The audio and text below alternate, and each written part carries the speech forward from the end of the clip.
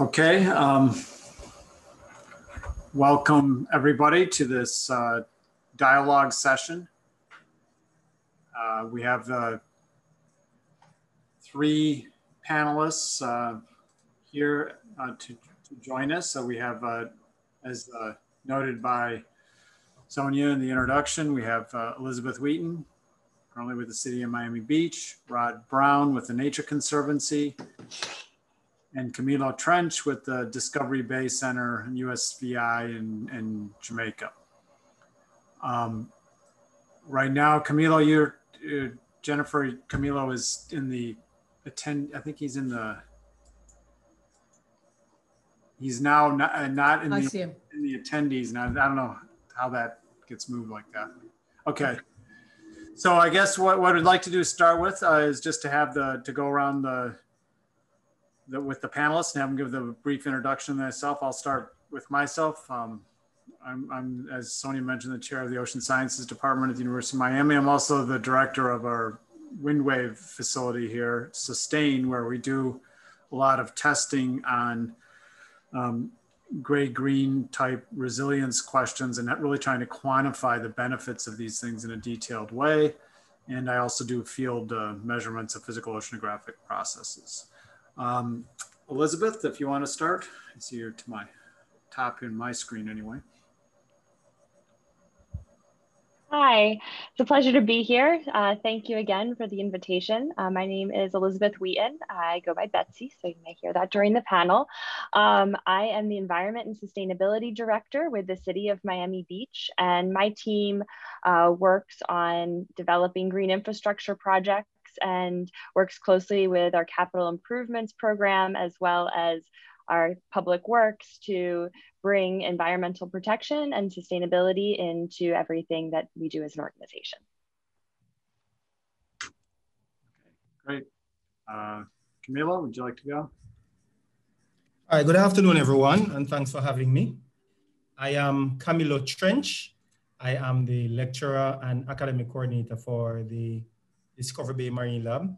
And we fall under the Center for Marine Sciences, which is under the Department of Life Sciences eh, at the University of the West Indies Mona campus. So um, apart from being the academic coordinator for the campus, where I help to facilitate um, research and different research projects, I also personally study mangrove conservation and restoration, and I've been doing so for a number of years, and I think um, have been integral in terms of the mangrove rehabilitation revolution that is happening in Jamaica, so to speak. Thank you. Uh, thank you. And I think I might have misidentified your institution in my intro, so I apologize for that. Um, Rod, would you like to introduce yourself, please, to avoid any such mistake yeah. on my behalf? Yeah, great. So uh, Rod Braun, I manage our climate and coastal resilience program. Uh, so really, it's kind of like two buckets. Um, one is really looking at sort of the mitigation and sort of you know how do we keep global temps um, from rising you know greater than one and a half degrees Celsius, and the other is really strengthening community resilience through the use of nature-based solutions or what we call natural infrastructure. Um, so uh, I think I'll be focusing more on that aspect of the latter of it. And uh, so I'm based in West Palm Beach, and uh, prior to working for TNC, I used to work for the Water Management District, South Florida uh, working on Everglades restoration. So I have experience with sort of large scale restoration and uh, estuarine uh, restoration type projects. Great to be here. Thanks, Brian. All right, well, uh, great. And um, I guess the format, uh, Jennifer, if you could help us out here, is can people just send questions into the chat or a Q&A or how are we gonna, how's the best way to work this for this session? Uh, people could just enter it into the chat, their questions uh, or the Q&A. Okay. Or I can just let everybody in the room and we can all talk to each other. I can do that too. What do you think, like this morning? Let's uh, start out like for a little bit with it like this and then we'll switch okay. kind of more informal. Everybody can just chime in after our first uh, 15 minutes or so or first couple little okay. bit. Uh, I, no I questions yet. No questions yet. Okay. So, uh, well, Rod, uh, let's just start out with you. Um, uh, that uh, you know, nature-based, we, we all understand that nature-based solutions are important for strengthening some of the strengthen our coastal resilience. And, and what can you tell us about some of the work that you and TNC have been doing on and how the economics of these types of uh, solutions can can be um, analyzed and brought to bear to rationalize their use? Yeah, good. That's a good question. I, I think that's really important. I think um, government really interested in really kind of what the bottom line is, what that return on investment is in terms of using nature-based type solutions rather than uh, gray infrastructure. And so at TNC, we're really interested, and we've done um, quite a bit in terms of analysis of, of really quantifying those benefits, right? And so when we when we think about the benefits, we're we're really interested in sort of that flood protection benefit that we can get from those because we know that mangroves and oyster reefs and coral reefs really kind of you know knock down wave energy and provide that benefit. So we've really gone out and quantified those benefits, and we worked with um, a number of different groups with it's USGS uh, provide those benefits. And we know that you know recently there was a USGS study that we worked on uh, jointly that showed there was over um, one and a half billion dollars in flood protection benefits from coral reefs, and this just in the U.S. alone, right? And so we know that there's there's really huge benefits um, you think about Hurricane Sandy that went up the coast and you know hit New York, New Jersey area. Um, areas that had salt marshes intact, right? They had something like 30% savings in terms of avoided losses. So we think it saved something like $625 million in avoided losses just there alone. Um, and then we looked at a, a study with uh, after Hurricane Irma, we and RMS does a lot of the sort of modeling and, and, risk modeling work for sort of the really big insurance companies like reinsurance companies as well. So they're very, you know, well established. Um, and we looked at, you know, if we didn't have the mangrove systems in place, what kind of damages would have occurred with, with Hurricane um, Irma? And we found that something like, you know, there would have been a, an additional one and a half billion dollars in losses, right? So I mean, that is really significant in terms of the kind of protection you know these, these systems provide. So um, investment in them is i think is really important. And you know and to the extent that you know they can become a go-to for for folks as a solution um, that's what we're really after. You know not to mention all the sort of environmental services that they provide in terms of water quality you know carbon sequestration all those things. But we think there's serious in systems great you know i i think that probably for Irma, I would gather that mangroves are probably part of the solution, part of the protective benefits that are obtained, like you see below behind you there. And I was wondering, um, Camilo, you, you work a lot with mangroves. What can be done in a place like Jamaica to uh, prevent uh, mangrove loss or preserve or, or, or, expand mangroves? And you know what has been the the pro- what has been going on there with with mangroves in Jamaica? Okay, thank you, Brian. Jamaica has lost, um, I believe, the figures say about 2,000 hectares of mangroves uh, between like 1996 and 2006. So we only have about a little less than 10,000 hectares of mangroves. So to keep the remaining mangroves there, um, a lot more needs to be done in terms of conservation. Jamaica, I would say Jamaica is in a conservation and planning stage in terms of um, coastal protection. Even though we have recognized the importance of mangroves and other coastal forests throughout the years, and I can use um, in the background, in my background, you can see a bit of the Kingston Harbor. The Kingston Harbor is the seventh largest natural harbor in the world. And it brings in for our country, um, surprisingly, some years more than tourism. Even though tourism is our lifeblood, this harbor it brings in billions of dollars because we are a transshipment port. And this harbor is kept calm by the mangroves and the sand dune systems around it. So we've been looking at the importance of these for quite a number of decades. But now we're looking into um, getting more of these lands under state or government ownership because a lot of the coastal lands, a lot of the mangrove forests are privately owned. So there's a large amount of developmental pressure especially on the north coast of Jamaica. So, you know, when you come to Jamaica and you're enjoying yourself on the north coast, uh, more than likely, one of those hotels that you're staying at was a mangrove forest maybe 10, 15 years ago. So there's a lot of competition for mangroves in terms of especially tourism and other infrastructural development, because a lot of these mangroves are on white sand beaches. So I think if we continue um, a lot of the policy that we're writing down, a lot of things that we're seeing, to conserve these areas and put them into the management of, let's say, the forestry department, then I think we will stand a lot better chance of keeping what is there. And the Jamaica government recently has embarked on planting um, trees, not just mangroves, but trees generally. I think we're looking at something like 3 million trees. But the reality is um, restoring maybe five acres of mangrove forest will give you, um, I'm, close, I'm sure, more than a million mangrove seedlings. So the mangrove forest itself is such an important resource as compared to, not downplaying other forest ecosystems, but um, looking at the coastal protective services, mangroves with its maybe we estimated about $32 million per year in our flood protection services alone from Jamaican mangroves.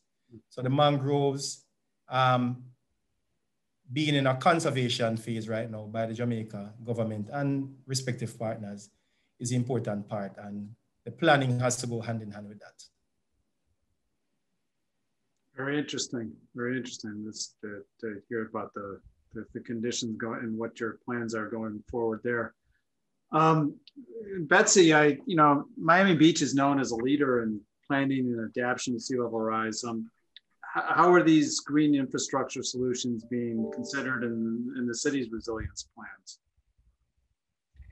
Great, thank you. Uh, so, you know, Miami Beach is, of course, known as a leader when it comes to adapting to sea level rise. Um, back in 2013, we began a very ambitious uh, stormwater uh, improvement program to raise roads, upgrade stormwater infrastructure to better prepare for climate change. Um, however, what was missing initially was that green piece. And um, we brought in the Urban Land Institute in 2017 to assess our resilience program and, and kind of give it a stress test. What was working, what wasn't working, and how did we need to adjust as we move into the future? And one of the main uh, pieces of feedback that they gave us is that we need to adjust our approach to have um, a greater emphasis on living with water and the incorporation of blue and green infrastructure into our city plans. And that's everything from our capital improvement program. So, you know, how we're thinking about neighborhood projects, um, as well as our park designs um, and our urban spaces. So we've embarked on a journey. We've uh, to figure out how do we do this in, in an urban realm. Um, we retained Jacobs Engineering to uh, look at our stormwater program and help us develop a blue and green infrastructure strategy where we could uh, pick and choose what works in different areas to help be a part of that solution. So it's not going from gray to green 100%, but rather marrying the two. So how do we bring in green infrastructure and incorporate it into our green, our gray infrastructure approaches? Uh, we're also looking at the way that we're designing our park spaces. So can uh, green spaces be used to hold and treat and slow water before uh, it is discharged into the bay? Um, I think that this presents a real opportunity. Um, and then finally, of course, our living shorelines. Uh, we have an, a very ambitious program to incorporate living shorelines with different designs. And what we're trying to do is really push that envelope forward as it relates to uh, green infrastructure design. So, you know, can we pull back the seawalls? Can we um, make uh, engineering shifts within um, that uh, benthic, or excuse me, the, the marine edge to uh, bring back mangroves, to look at um, even bringing back seagrasses um, to help uh, be a part of that solution. Uh, interesting. Uh, thank you, Betsy. The um, there's a, a question. Um, I guess uh, I'd mentioned that we could try to move people in. I, I think with the number of people we have here, that could work pretty well if you started to do that. Right now, uh, Landolph Road Barbarigos uh, asked the question, are there any gray-green projects you know that integrate mangroves? If not, why not? And what have been the key challenges for their design and implementation?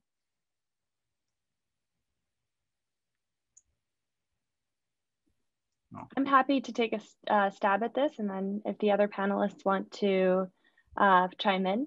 Uh, so uh, one of the projects that I'm most excited about is along Indian Creek. Uh, we have Um, we're we have a few so i could go off on green gray and green infrastructure projects. I, we have another one that we're working on. I'm actually going to go with that one. We're working on, on brittany bay park which is also along indian creek. We have a great partnership with the nature conservancy as well as nextera energy. And what we've done in this location is we've actually um, the the seawall was already designed. We were planning to build a seawall that extended the entire length of the park.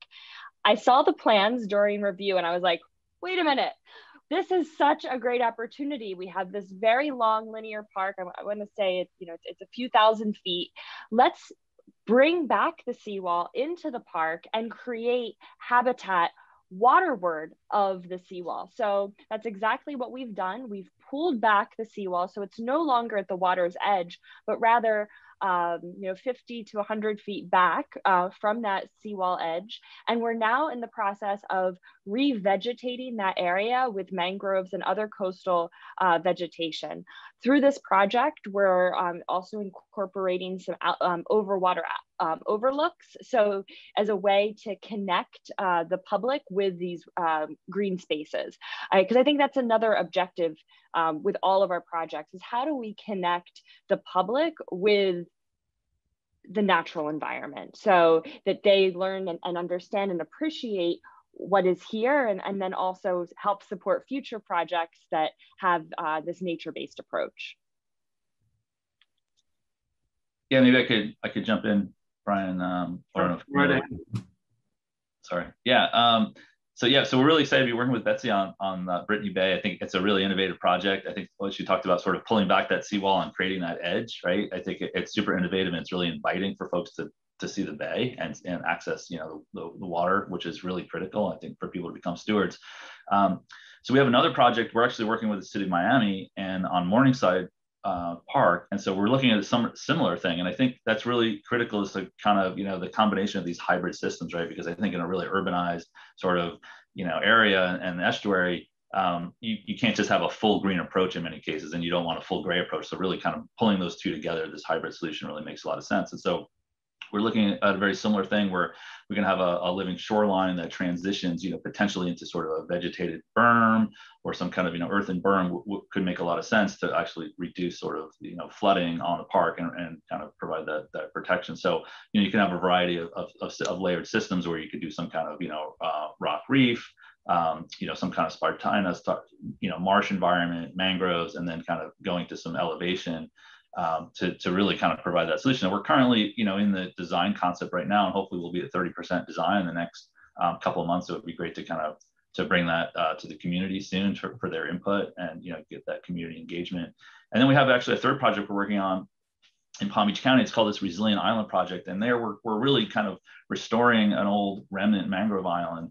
Um, and the idea there is to kind of use this layer approach. We're going to be using um, oyster reefs, sort of mangrove pods, um, some marsh grass systems, and, and, additional mangroves to protect wading bird nesting habitat.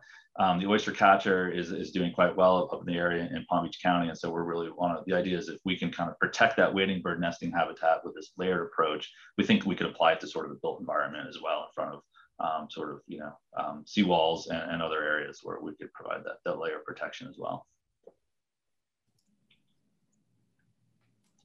All right. Um, I believe I have something I could add here as well, guys.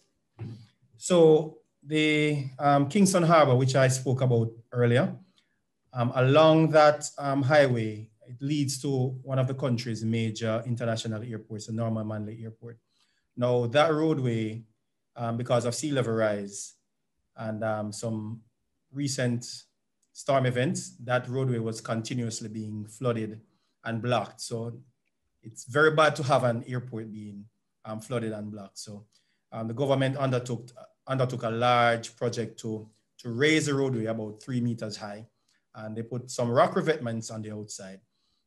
And um, thank, thankfully, um, sadly, we um, as many countries do have these challenges. We do not have a lot of engineers who believe in a mixture of gray and green infrastructure. So the engineers were quite happy to have just the rock revetments sitting there looking very ugly. But our environmental agency, NEPA, stepped in and insisted that they um, do a little bit of green because the area was originally mangrove forest. Um, not a very robust mangrove forest because it's in Kingston. Yeah, that's it. Right. So um, they were mandated to put back some of the mangrove that was um, destroyed during the construction phase. So you can see my background there. Uh, we have some, um, maybe some two-year-old mangroves coming up. And these mangroves were um, replaced, so to speak, um, in front of the, the seawall.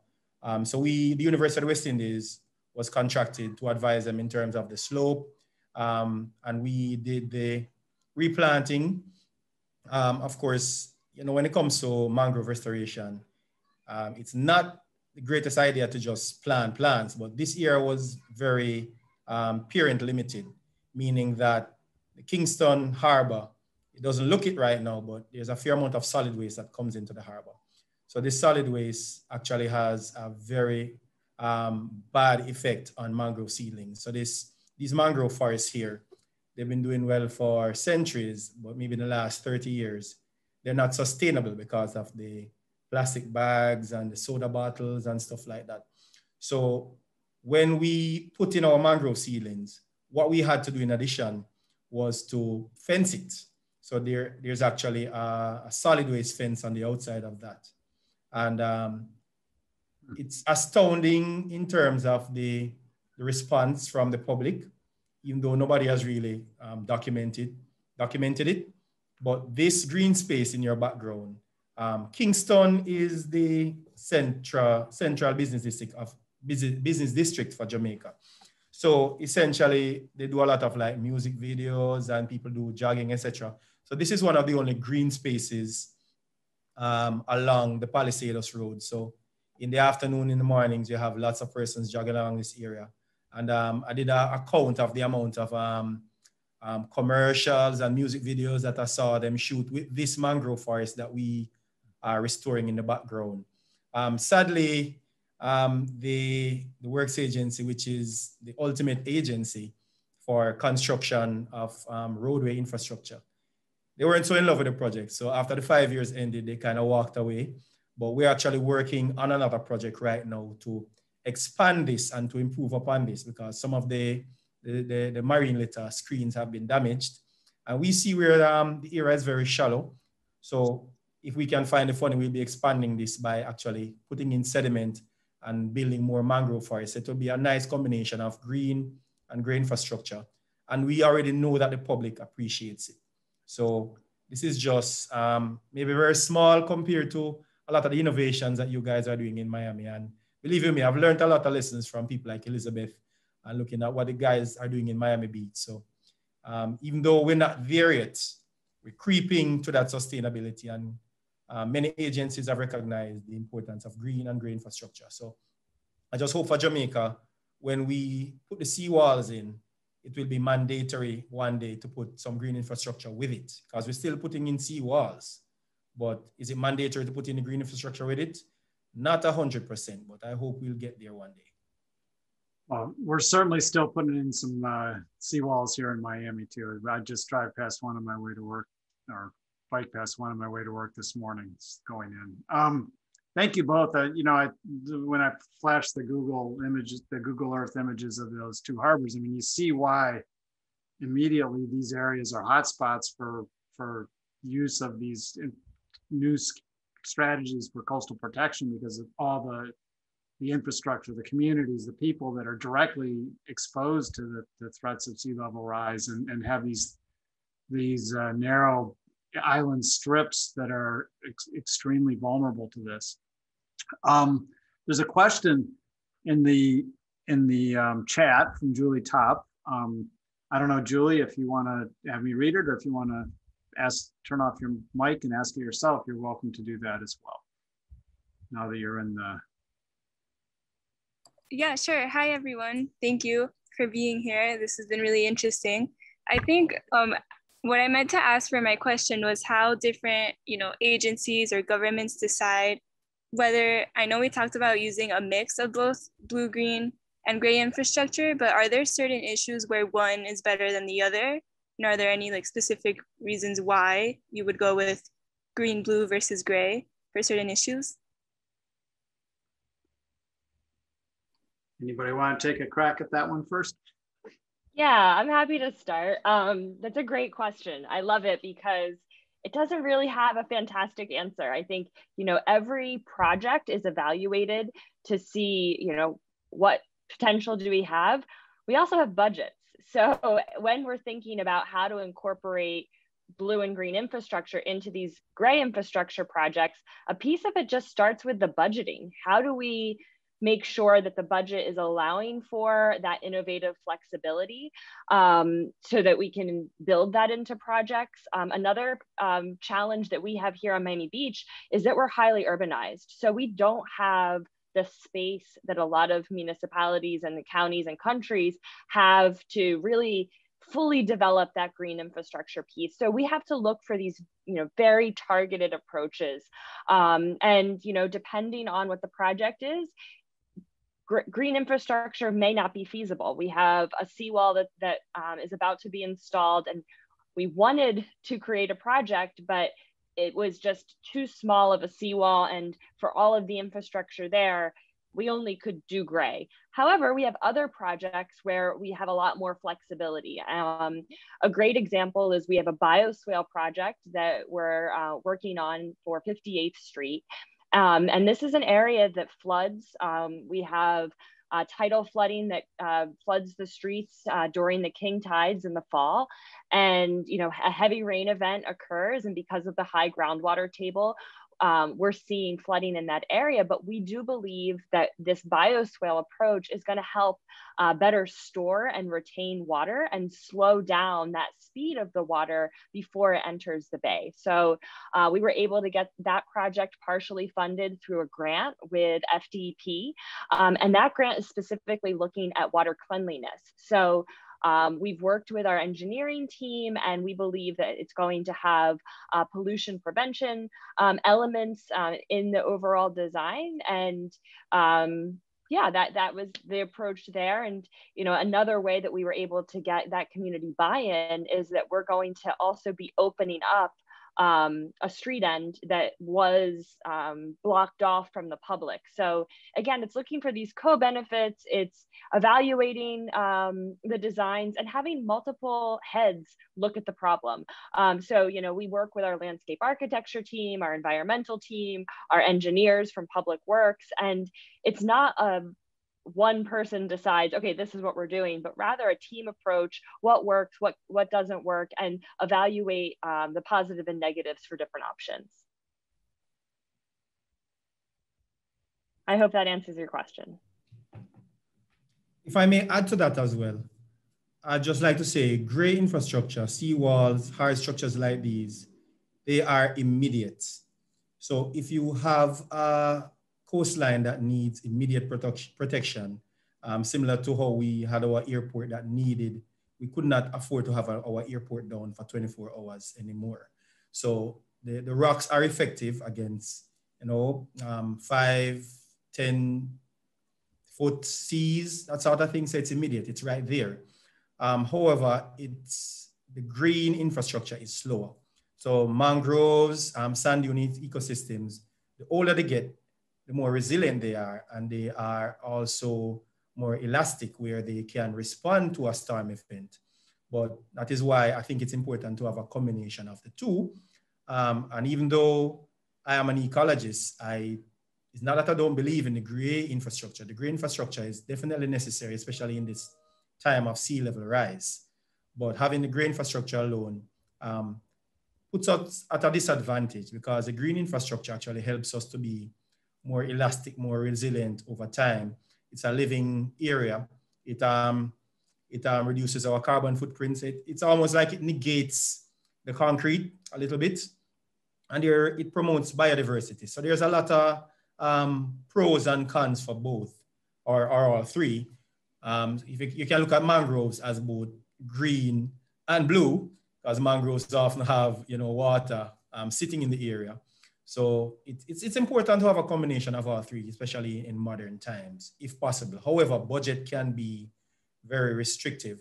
I can think about, um, I, I, use this same um, Palisadoes Kingston example for so many reasons. Um, it had a sand dune component where they put the rocks in. Rocks are very unsightly, but the budget to actually put vegetation, sand dune vegetation back onto those rocks was, was tremendous. And most of our um, infrastructure projects like these are based on loans. So it would not be budgeted for. There, the sand, the sand is sitting just on the outside of the rock. So maybe in a storm event, the sand will eventually be washed into the, the rock crevices and eventually we'll get the creepers. That succession may happen, but the country never simply, the government simply never had the budget to put the green with that gray. Uh, maybe it will happen over time, but let's see. But um, um, Betsy made a very important point about budget as well. And um, sometimes it's a little bit of political will too.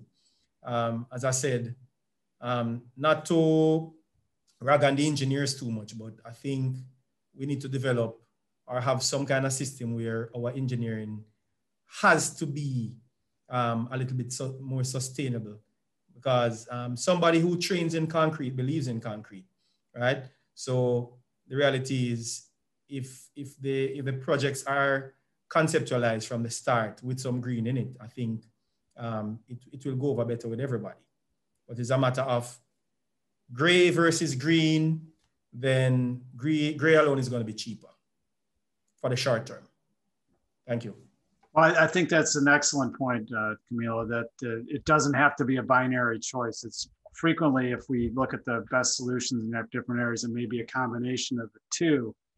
And I can think of one particular criterion which adding a, a green element is, is far more than just aesthetics or just uh, in the future is that many many seawalls are highly reflective and you know you you don't you don't get rid of the wave energy with a seawall and um, it just bounces it's elsewhere in your basin if it, and these can just cause problems elsewhere and, and cause erosion problems on other you know in other parts of your system so in order to reduce more of the energy or more of the wave energy that the great you know mangroves or or some, something like that can certainly take, you know, dissipate a lot more of the energy there. So that actually provides a hydrodynamic benefit as well. So that's another example. But I think it's really, a, in a lot of cases, it's how can we work these together for the aesthetics, for the hydrodynamics, for the resiliency aspects of it.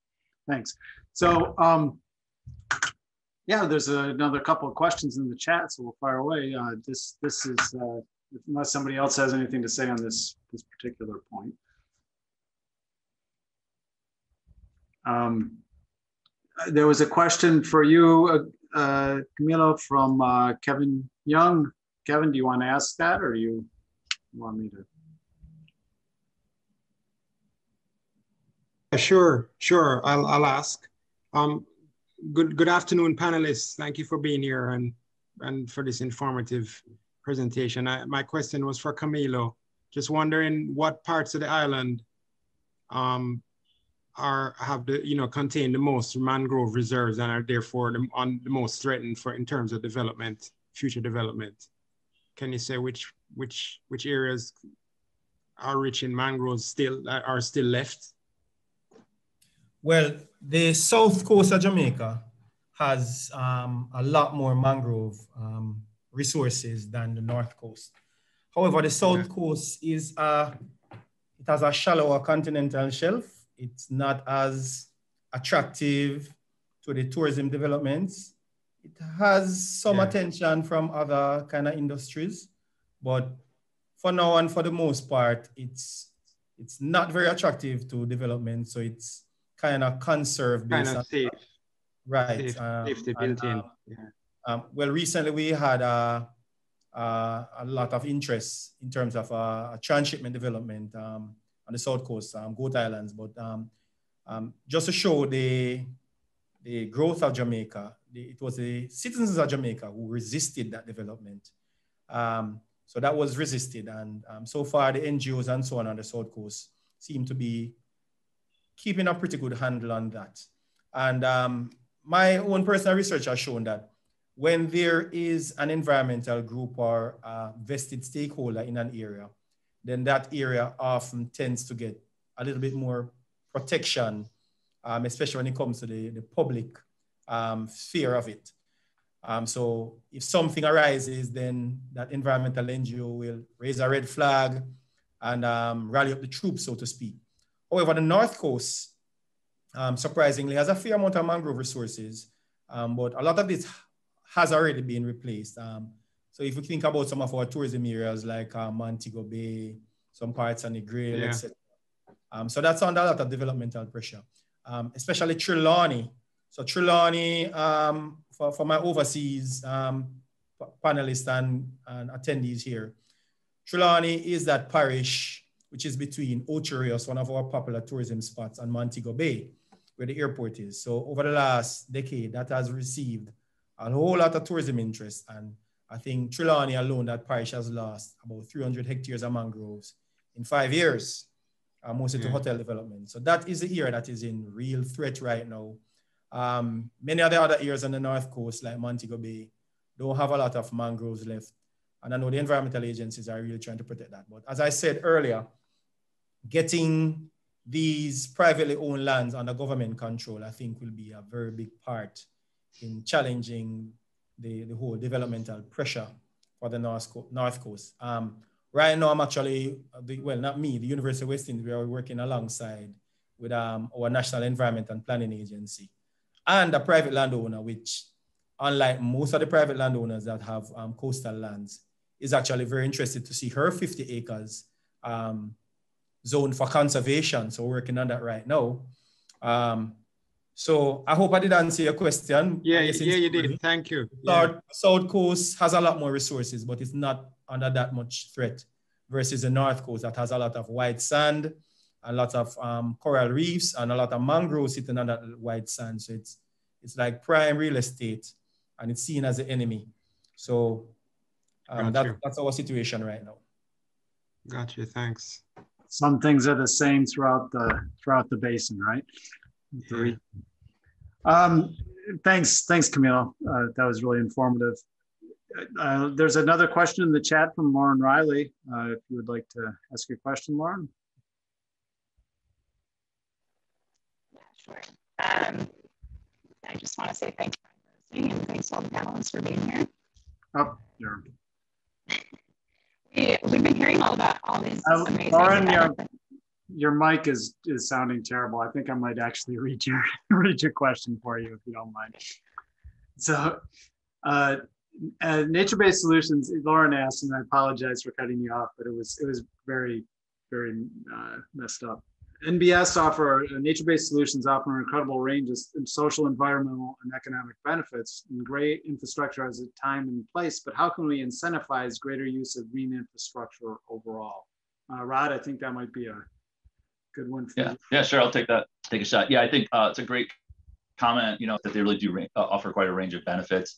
Um, incentivizing is is not easy. I think there's probably like two things when I think about for for really kind of scaling this work. Um, the first one is really, and I talked about a little bit. It was really, it's really kind of demonstrating the benefits of nature-based, right, as opposed to a seawall or riprap or some sort of you know hardened infrastructure. So I think to the extent that we can really quantify those benefits and it becomes sort of a, a go-to solution um, for folks that are looking at these options, I, I think that's really critical. So that return on investment.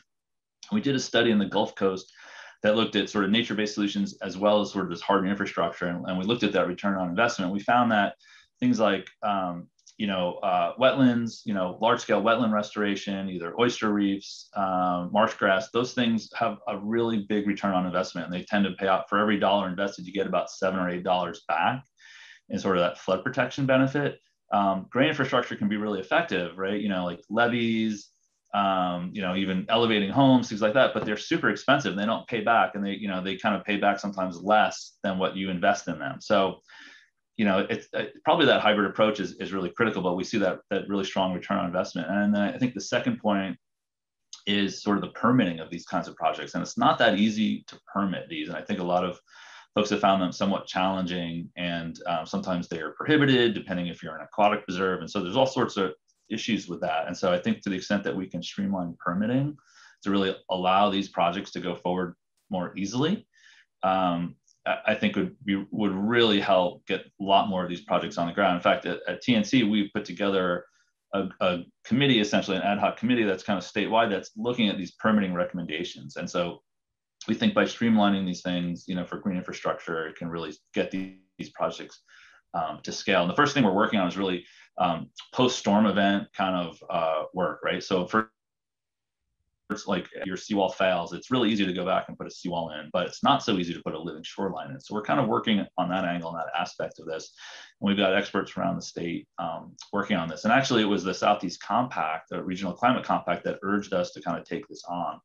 Um, so it's pretty exciting, and we hope that you know this will really help kind of scale the work.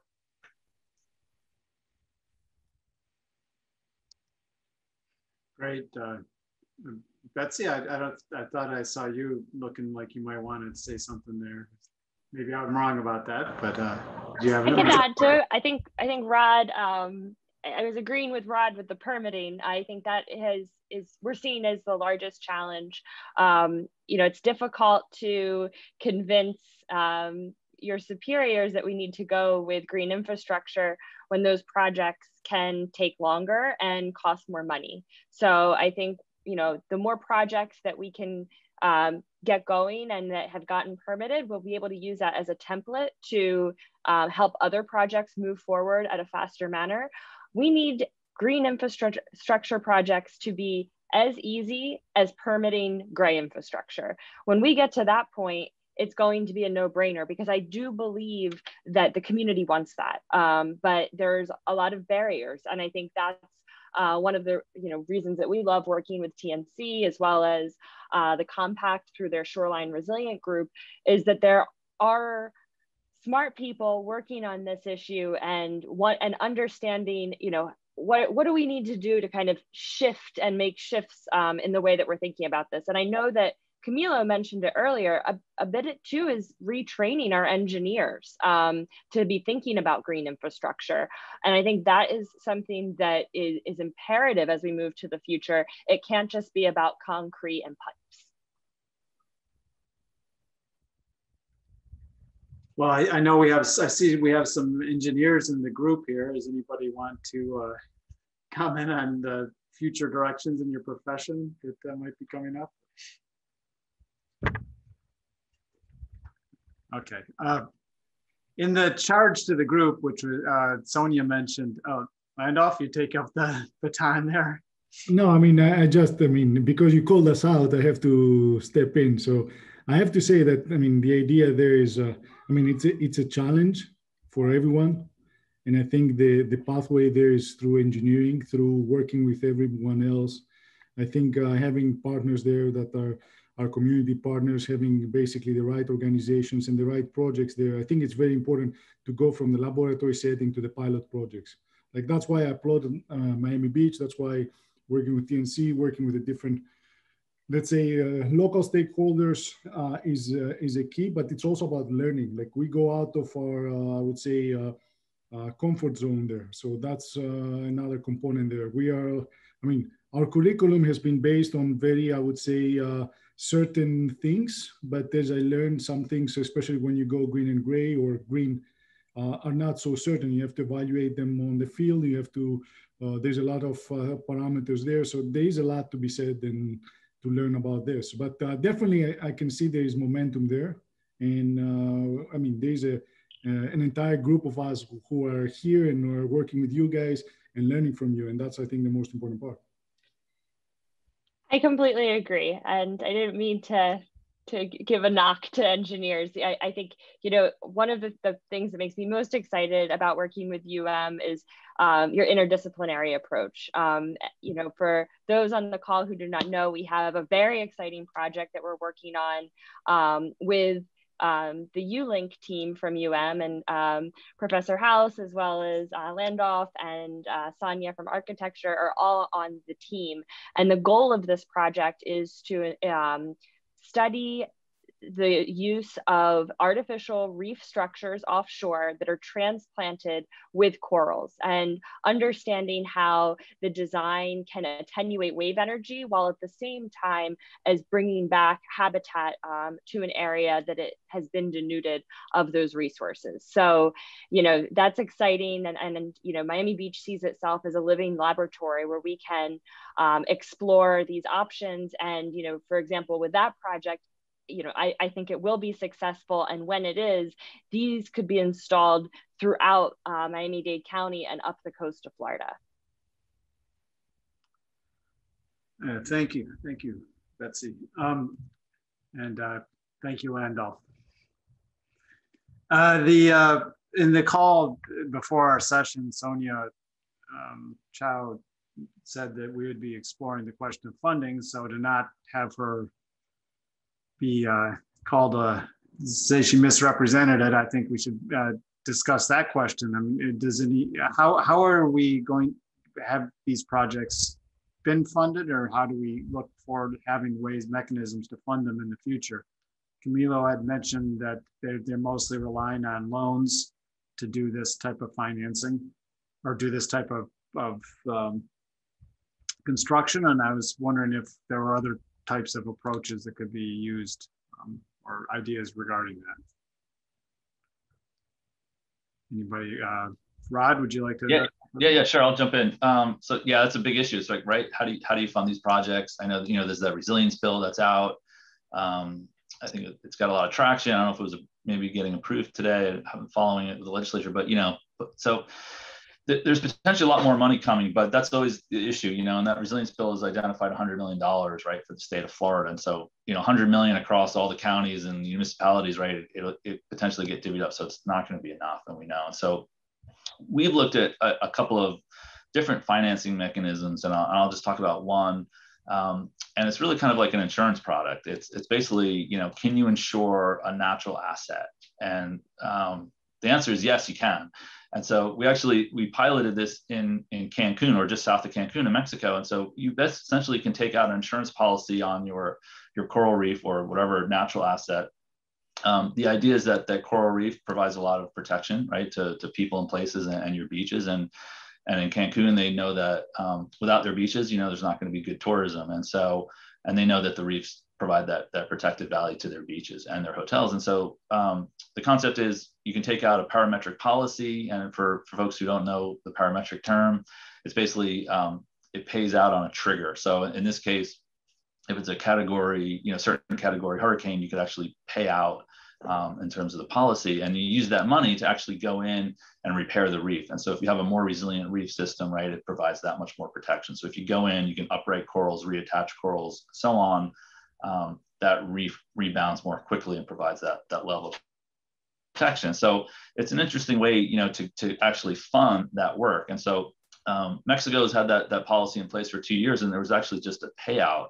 It was Hurricane Delta in, 20, in uh, I think it was October of, of 2020 that kind of hit that trigger and it paid out, I think, about 40% of the policy. So, you know, if you had a category five, it would pay out 100%. If it's category one, it might be like 20 or 30%. And so it paid out at about 40%, which uh, equaled about $850,000 in US dollars. And so they were able to actually go and do kind of triage and do repairs on the reef. So it's a really kind of innovative way um, to add a layer of sort of finance and you know funding to your your your natural system and so we did a feasibility study in Florida and Hawaii to see if it would it would work here, and we found that it, it could work. Um, you could actually purchase a policy. Anybody who has an interest in the in the reef system could could purchase a policy, um, and we we found out that it would cost you about um, I think about ten percent of your payout. So if you wanted a million dollar payout, it would cost you about hundred thousand dollars um, to to do. And so it could be cost effective in, in, in, some cases. So Betsy, we'd have to talk. Maybe that could work for your artificial reef system. Um,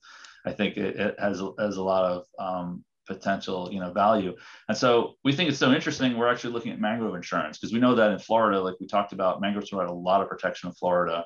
Um, if a storm were to occur and there were damage to the mangroves, you know, if you were able to go back and do a restoration fairly quickly, um, you bring back that resilience benefit to the community. And so we're actually just kicked off a new project to explore that. So I think it's kind of an exciting way to kind of bridge this with in the insurance sector and reinsurance. And they're the really the ones mostly interested in funding this work.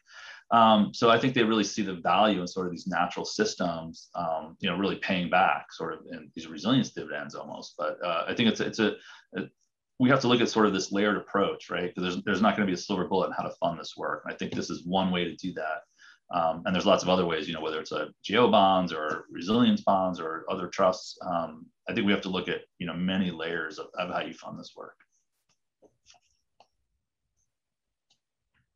Uh, thank you. Do, uh, any of the other panelists want to chime in? Yeah. Betsy, Camilo, you have anything on that?